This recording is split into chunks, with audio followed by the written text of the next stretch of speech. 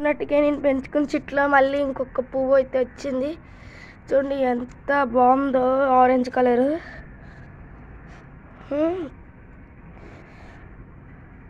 చాలా బాగుంది పువ్వు. సరే షేర్ సబ్స్క్రైబ్ అండ్ లైక్.